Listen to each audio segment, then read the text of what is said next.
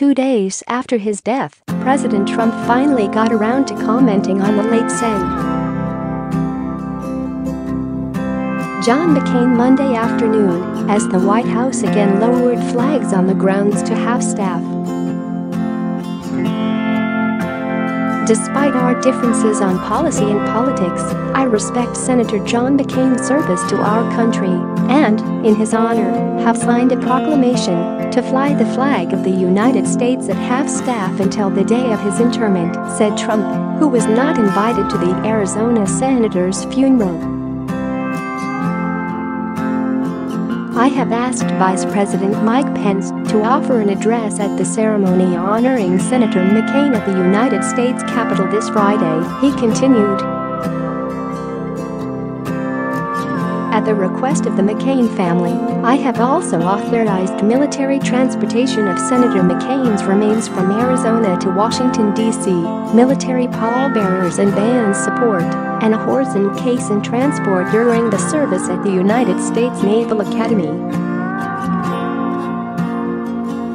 Chief of Staff John Kelly, Defense Secretary James Mattis and National Security Advisor John Bolton will represent the White House at the service.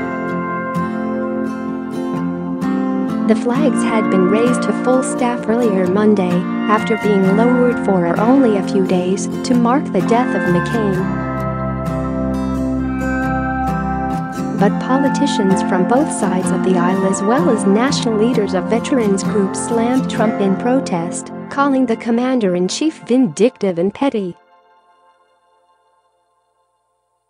The White House typically honors deceased lawmakers by keeping the building's flags at half-staff until their funerals, according to The Hill. But that requires a presidential proclamation, and Trump didn't issue one. See also White House returns flag to half-staff after backlash facing a national outpouring of scorn, the White House relented. The move comes shortly after the American Legion and other veterans organizations had blasted Trump Mr. President, just this year, you released presidential proclamations noting the deaths of Barbara Bush and Billy Graham, Denise Rohan, the national commander of the American Legion, said in a public letter to the president Monday. Senator McCain was an American hero and cherished member of the American Legion. As I'm certain you are aware, he served five and a half years as a prisoner of war in North Vietnam and retired from the U.S. Navy at the rank of captain. He then served in the U.S. Congress for more than three decades. On behalf of the American Legion's 2 million wartime veterans, I strongly urge you to make an appropriate presidential proclamation noting Senator McCain's death and legacy of service to our nation, and that our nation's flag be half-staffed through his internment, she wrote.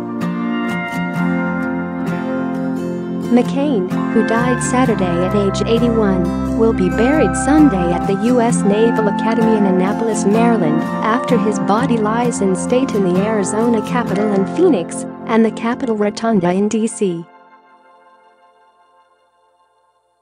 Related VIDEO 308 John McCain, Life and Death of a Maverick